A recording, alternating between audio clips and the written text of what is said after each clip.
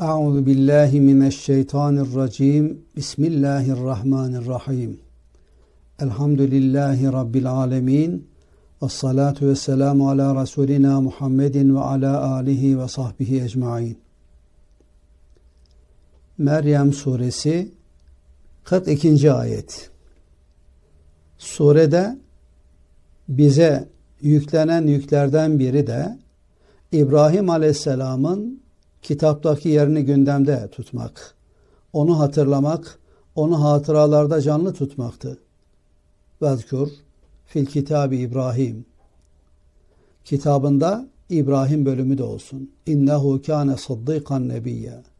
O hem sıddık hem de nebi idi. İkisini birleştirdi, başka özelliği yoktu demeyin. O Kur'an'da tanıtılan bütün özellikleri ve bizim bilmemiz gerekmediği için zannederim tanıtılmamışsa diğer nesi varsa Allah'ın bildiği her şeyi şahsında topluyordu. Ama biz onu bizim dinimizin aslı ve esasını anlatan bir peygamber biliyoruz. Çünkü bu din anlatılırken millet ebiküm İbrahim denilir. Babanız İbrahim'in dini. Sıddık ve Nebi. Sıddık, tasdik eden, sadakatle bağlı olan, sadıkane bağlılığı ortaya koyan, yani hilafsız, şeksiz ve şüphesiz, hiç endişe etmeden, tereddüt etmeden, tamam ya Rabbi ben bağlı oldum, dediğini dinledim, dahasını düşünmüyorum diyebilen, belki bu işin hafızalarda daha canlı olması için bir örneğe ihtiyacı varsa, bu ümmetin Sıddık bildiği Sıddık Ekber Ebu Bekir Efendimizin Sıddık adını aldığı olayı hatırlayın. Haberin var mı demişler. Şu senin arkadaşın var ya bu gece neler neler yapmış. Evet. Yani bu mümkün mü demişler. O mu söyledi? Evet deyince doğrudur demiş. Ya nasıl da doğru diyorsun bu mümkün mü? İş mi sizinki demiş. Ben onun yedi kat semanın ötesinde, kürsinin ve arşın ötesinde onların Rabbinden haber alıp bana ilettiğine inanıyorum da bu dediklerini inkar mı edeceğim demiş. Dediyse tamam. O dediyse o kadar demenin karşılığıdır sıddık. Bize de aleyhissalatü vesselam sıddık makamına ermede üç maddeli bir formül arz eder. İsterseniz buyurun. Çok zor zannetmeyin. Çünkü Kur'an-ı Kerim'e göre, sünnete göre cennete gidecek insanların 5-6 kategoriye ayırabileceğimizi biliyoruz. Bunlardan biri peygamberler, sonra sıddıklar, şehitler, salihler, sıradan diğer bütün Müslümanlar ve günahından dolayı cehenneme uğrasa da sonunda cennete gidecek olanlar. Bunlardan birinci sırada yer alan peygamberler insanların çalışıp çabalayıp ulaşacakları bir makamda olmadıklarından onu kendiliğinden geçiyoruz. Benim ulaşabileceğim en yüce makam, senin varabileceğin en yüce makam sıddık makamıdır ki bunun için aleyhissalatü vesselam şöyle buyuruyor. Kim ki vermeyene verirse ya da gelmeyene giderse bir de kendisine zulmeden Müslüman kardeşini affederse işte o sıddık makamındadır. Yani sen sana gelmeyene gideceksin. Zor mu? Sıddık olacaksın fakat neden zor olsun? Allah git dedi diye gideceksin. Ya Rabbi ben yıllardır gidiyorum ama o gelmiyor. Kulum o gelsin diye gitmeyecektin ki sıddık olmak için gidecektin derse ne dersin? Vermeyene vereceksin. Ama ya Rabbi ben sevgimi, ilgimi, imkanımı, fırsatımı, paramı, yemeğimi, her şeyimi ona verdim ama ama hiçbir şey vermiyor öyle mi? Peki ben veriyorum kulum ne dersin? Ama ben veriyorum. Sen sıddık olmak için verecektin derse ne dersiniz? Ve üçüncüsü sana zulmeden Müslüman kardeşine Müslüman mı? Affedeceksin. Sanki şöyle anladım. Bir Müslüman senden dolayı azap görmesin. İşte o zaman sıddık makamındasın. Bunun en güzel, en iyi, eksiksiz, mükemmel yapılan örnek şekli İbrahim Aleyhisselam'da görülüyor. Onun için o sıddıkan bir de nebiyya, nebidir, peygamberdir. Nebi haberci demektir.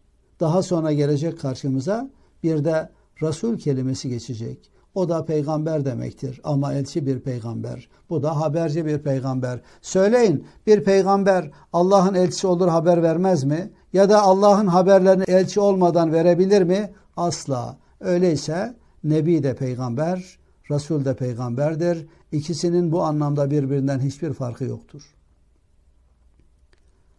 İzgâle li ebihi Nitekim hatırlayın gündemde tutacaktınız ya işte o gündem konularından biri.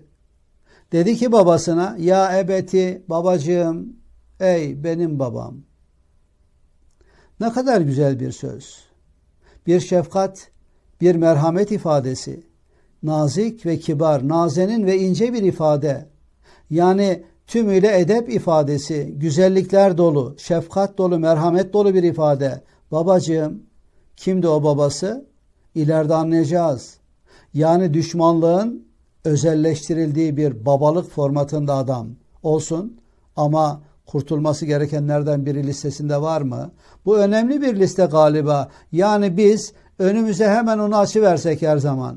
Hani kızdınız, bağırdınız, kahrol diyecektiniz, cehenneme git diyecektiniz, Allah'ın lanetine uğra diyecektiniz. Sonra aklınıza geldi. Açıverdiniz listeyi. Kurtulsa iyi olacaklar listesinde var mı o kişi?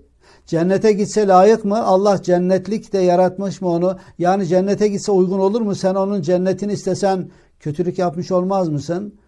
Öyleyse onun cennetini iste, affediver, güzel davran ona karşı. Başka çare yok ki. O iyi olsun diye sen dua edersen, o iyi olmazsa sen iyi olmuş olursun. Ya ebeti, babacığım, babam, ey babam.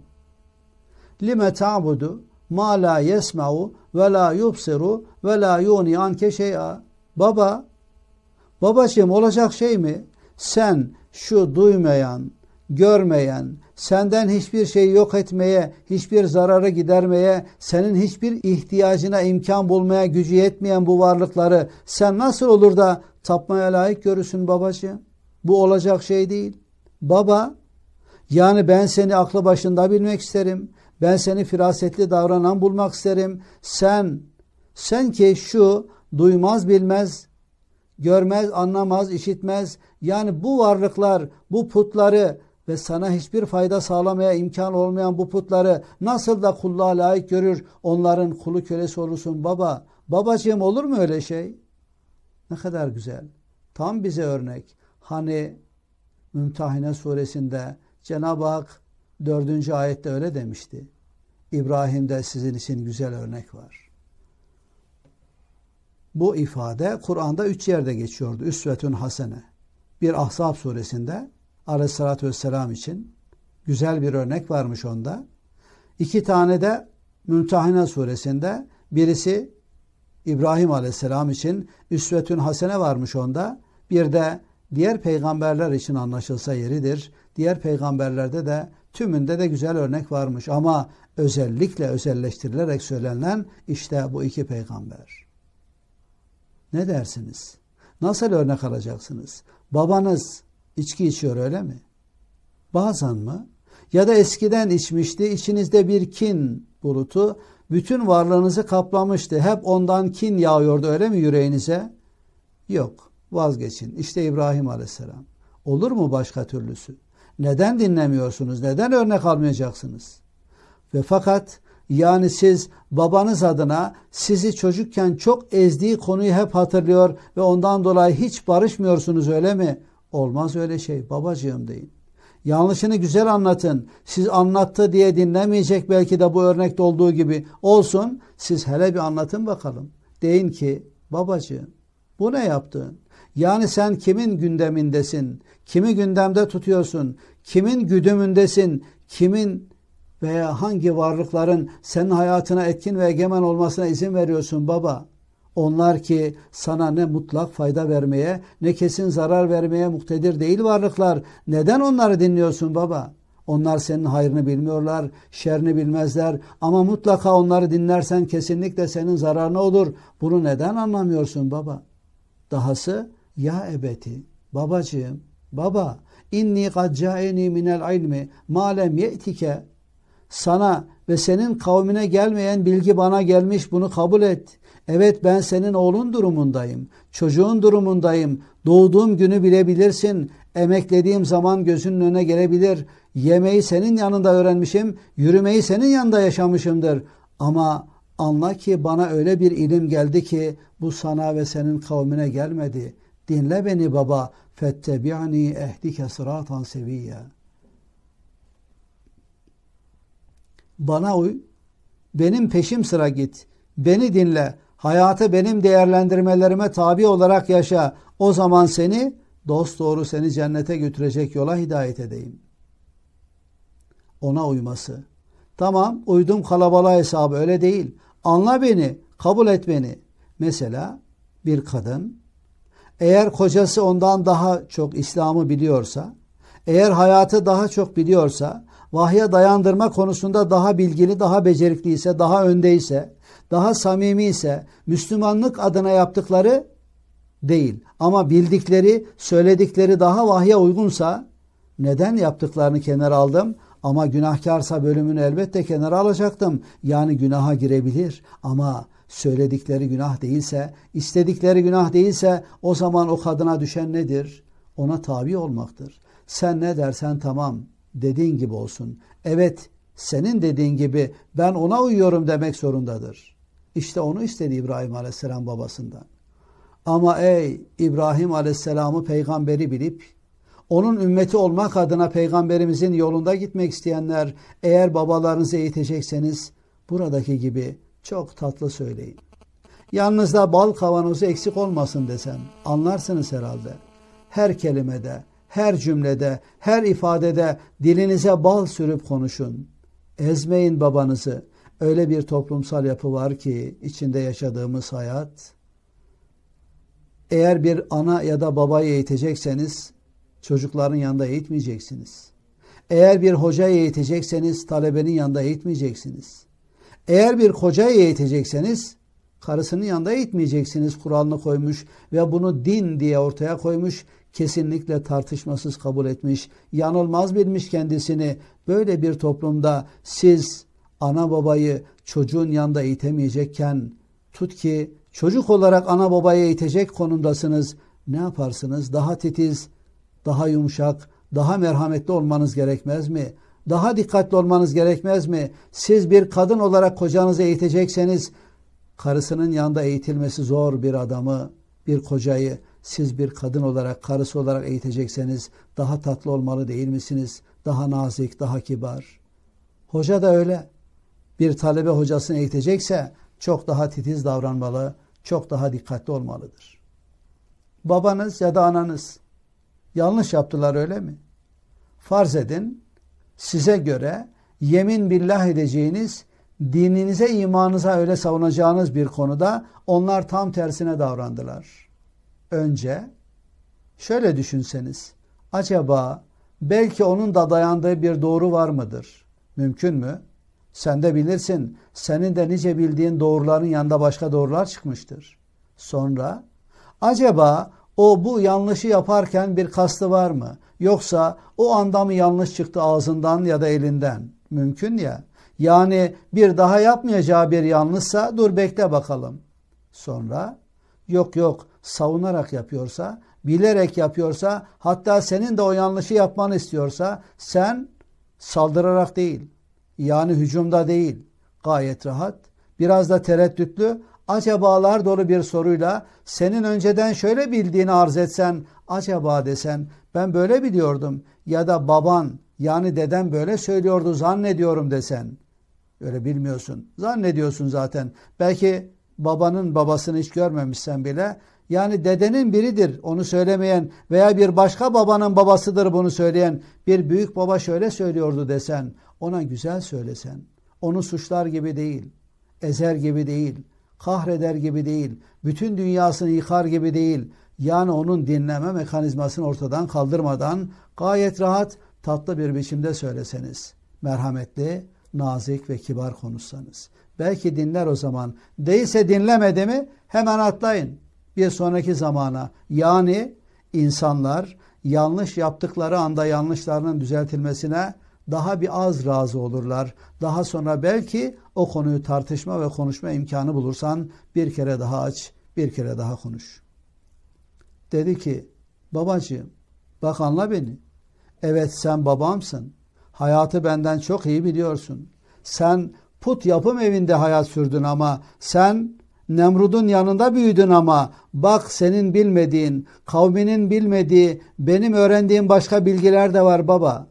Yani bugün bizim için. Baba bak hani benim için almıştın ya Kur'an-ı Kerim mealiyle beraber tefsirleri vardı, hadis kitapları. Hani önce Riyaz Salih'in demiştin, ilk onu almıştın bana ya, sen her ne kadar benim için aldığın için okumamıştın. Ama ben onu okudum, tefsirleri okudum, hadis kitaplarını okudum. Ama ben Kur'an'ı baştan sona defalarca okumam gerektiğine inanıyorum. Halen okuyorum. Bak senin dediğin gibi değil, biraz da öyle olmaması gerektiğini anlıyorum. Ya bunu bana tekrar anlat, ya bunu bir daha anlayalım baba dememiz gerekiyor. Yani ey baba, babacığım senin bilmediğin bilgilere sahip oldum. Sen ulaşmadın onlara. Sana gelmeyen bilgiler bunlar. Hadi baba dinle beni, benimle beraber ol dedi. Uy bana dedi, seni müstakim sırata, sıratan seviyyaya ulaştırayım. Cennete giden yolu göstereyim sana. Sen o yolda hadi beraber yürüyelim baba.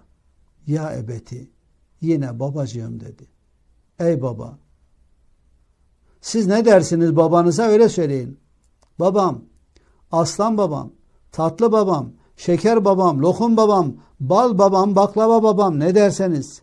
Gerçi insanlar çocuklarının kendisine ne demeleri gerektiğini farklı öğretmişler galiba. Şöyle 5-6 yaşlarda bir çocuk bir pazar yerinde babasına bağırıyordu arkadan. Sesini olanca gürlüğüyle iletmek istercesine baba olmadı. Bir daha sonra bir daha baktı ki baba eyvallah etmiyor. Lan baba diye bağırınca adam döndü geriye ve baktı çocuğuna. Yanımdakiler garipseyince dedim ki adamın adı lan babaymış. Öyle olunca duydu. Ne oldu garibinize mi gitti dedim. Öyle insanlar yani o adam hangi dilden anlarsa, hangi dili severse önce onu kullanın ama o kullandığınız vahye tam ters ya da aykırı ve haramsa elbette İslam'ın izin verdiği derecede işi ayarlamaya bakın. Ya ebeti, babacığım, la ta'budi şeytan. Şeytana kul olma. Allahu Ekber. Bu özel bir tabir. Bu baştan beri peygamberlerin kavimlerine yani bütün insanlığa sundukları bir gerçeğin bir parçası. Hani Yasin suresinde okumuştunuz. Tekrar edersiniz. Ne derdi Allahu Teala orada insanoğluna? Elem ahed ileyküm ya beni Adem ella ta'budu şeytan. İnnehu lekum aduvun mubin. Ve en ya'buduni hada sıratun müstakim. Yani ey Adem oğulları ben sizinle bir anlaşma yapmıştım. Bana bir ahdiniz vardı. Size bir sözüm vardı. Siz şeytana kul köle olmayacaktınız. Sadece kulluk makamında olacak ama sadece bana kulluk makamında olacaktınız. Öyle bir anlaşmamız yok mu Allah'la? İşte onu İbrahim Aleyhisselam burada babasına hatırlatıyor. Ya ebeti la tabudi şeytan. Şeytana uyma. Şeytana kul köle olma. Şeytanı dinleme. Şeytanın peşi sıra gitme. Şeytanın adımlarını takip etme diyen ayeti hatırlıyorsunuz. Kul olmak. Yani boynumuza şeytanın ipini geçirmek. Şeytanın ipi nereye çekerse bizi oraya gitmek. Olmasın sakın bu. Yaptığın şeyleri bir bak baba diyordu sanki. Sen kimin ipiyle hangi kuyuya iniyorsun? Kimin ipiyle nereye gidiyorsun? Kim boynuna ipini takmış ve sen o ipin çektiği yere nasıl da gidersin? Onun şeytan olduğunu neden düşünmezsin? Neden şeytanın ipi doğrultusunda kulluğunu yaşarsın baba dedi. Sakın şeytana uyma. Şeytan aslında bir vasıf. Allah'a secdeden kaçınan demektir. Allah'ı kulluk makamında görmeyen demektir. Rab ve ilah bilmeyen demektir. Allah'tan başka varlıkların da bu işe layık olabileceğini sanan demektir. İblis ilk şeytandır. Allah bütün meleklere ve iblise Adem'e secde etmelerini emretmişti.